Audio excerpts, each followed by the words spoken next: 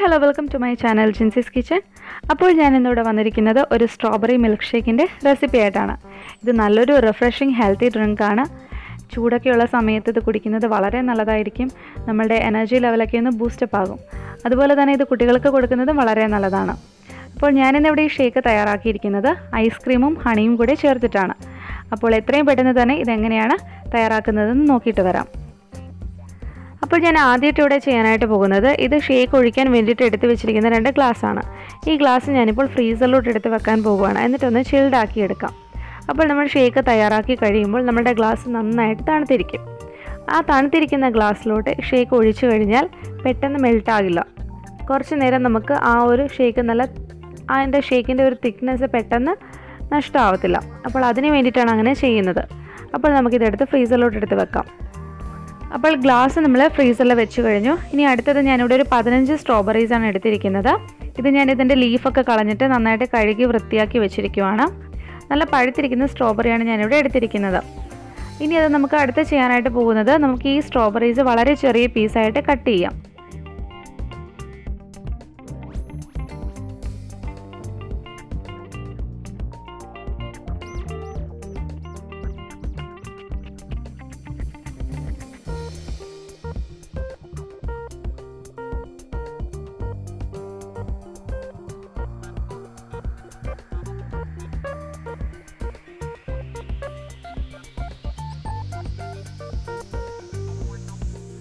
അപ്പോൾ സ്ട്രോബെറീസ് എല്ലാം കട്ട് ചെയ്ത് കഴിഞ്ഞു. ഇനി ഇതൊരു മിക്സിയുടെ ജാറിലോട്ട് നമുക്ക് ഇട്ട് കൊടുക്കാം.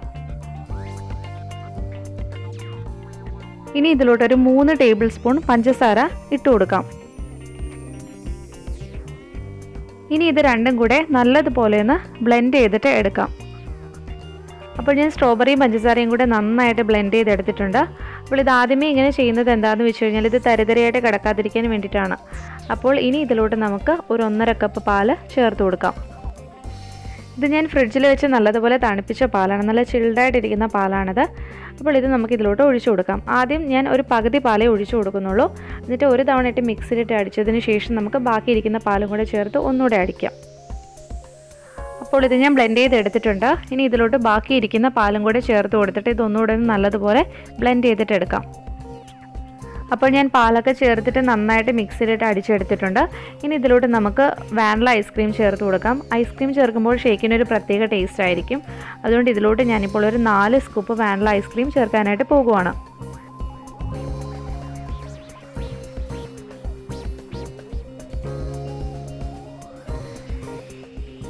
ഇനി ഇതിലോട്ട് ഒരു ഒരു ടേബിൾ സ്പൂൺ ഹണി കൂടി ചേർത്ത് കൊടുക്കാം.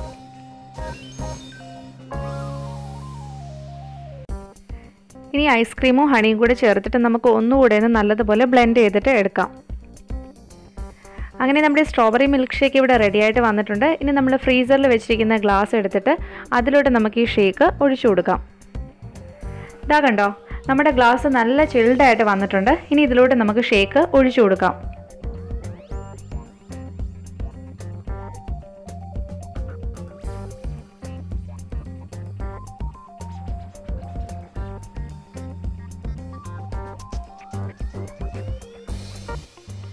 അങ്ങനെ നമ്മുടെ സ്ട്രോബെറി മിൽക്ക് ഷേക്ക് ഇവിടെ റെഡി ആയിട്ട് വന്നിട്ടുണ്ട്. ഇത് മിൽക്ക് ഷേക്ക് എന്ന് മാത്രം പറയാൻ പറ്റത്തില്ല. കാരണം ഇതൊരു ഐസ്ക്രീം ഷേക്കും കൂടെയാണ്. കാരണം നമ്മൾ ഐസ്ക്രീം നല്ലതുപോലെ ഇതിൽ ചേർത്തിട്ടുണ്ട്. അതുകൊണ്ട് തന്നെ കുട്ടികൾക്കൊക്കെ ഭയങ്കരമായിട്ട് ഇഷ്ടപ്പെടും. നിങ്ങൾ ഉറപ്പായിട്ട് അവർക്ക് ഉണ്ടാക്കി കൊടുക്കണം. മാത്രമല്ല ഈ ചൂട് സമയത്തൊക്കെ നമുക്ക് കുടിക്കാൻ പറ്റുന്ന നല്ലൊരു ഡ്രിങ്കും കൂടിയാണിത്. അപ്പോൾ നിങ്ങൾക്ക് എന്റെ ഈ വീഡിയോ ഇഷ്ടപ്പെട്ടു എന്ന് കരുതുന്നു. ഇഷ്ടപ്പെട്ടു എന്നുണ്ടെങ്കിൽ ഉറപ്പായിട്ട് എന്റെ വീഡിയോയ്ക്ക് ഒരു ലൈക്ക് ചെയ്യുക. അതുപോലെ നമ്മുടെ ഫാമിലിയിലോട്ട് പുതുതായിട്ട് വന്ന എല്ലാവർക്കും വെൽക്കം ടു അവർ ഫാമിലി അതുപോലെ എന്റെ ചാനൽ സബ്സ്ക്രൈബ് ചെയ്തിട്ടില്ലാത്തവർ സബ്സ്ക്രൈബ് ചെയ്ത് തന്നെ സപ്പോർട്ടും ചെയ്യുക. നിങ്ങൾ സബ്സ്ക്രൈബ് ചെയ്യുമ്പോൾ സബ്സ്ക്രിപ്ഷൻ ബട്ടന്റെ തൊട്ടടുത്തൊരു ബെല്ലൈക്കണുണ്ട് അതും കൂടെ ഒന്ന് ക്ലിക്ക് ചെയ്യുവാണെങ്കിൽ ഞാൻ വീഡിയോസ് ഇടുന്ന ഉടനെ തന്നെ നിങ്ങൾക്ക് നോട്ടിഫിക്കേഷനായിട്ട് വരുന്നതാണ്. അപ്പോൾ ഇനി വേറെ ഡിഷുമായിട്ട് കാണുന്നത് വരേക്കും. Till then signing off Jinsi thank